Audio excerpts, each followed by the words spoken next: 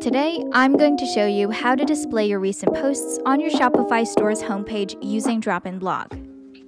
Once logged into your Shopify account, head on over to the left navigation menu, and under Sales Channels, click on Online Store. You'll be taken to the Themes page, then down here on the right, click on Customize. On the right here will be the preview, you can add the recent posts section wherever you like. We'll add ours to the bottom just after featured products.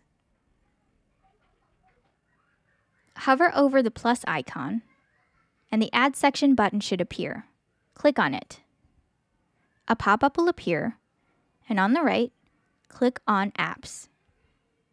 Then, click on DropInBlog Recent Posts. Your recent posts will appear in the preview click inside the section, and on the left will be the settings for your recent posts section. You can change your heading title. For us, we'll keep that the same. You can change the number of posts to display. Click inside, and as an example, I'll type in three, and it should show up on the preview.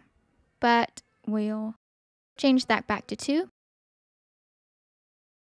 and you can change the display, whether you want to show your posts as a list, for example. Just showing the text links or posts with the thumbnail. And you can also filter your posts by category under Filter by Category over here.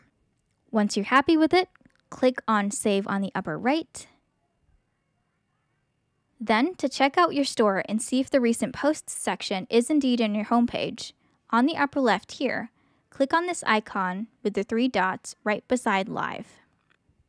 Once the pop-up appears, click on View with the eye icon.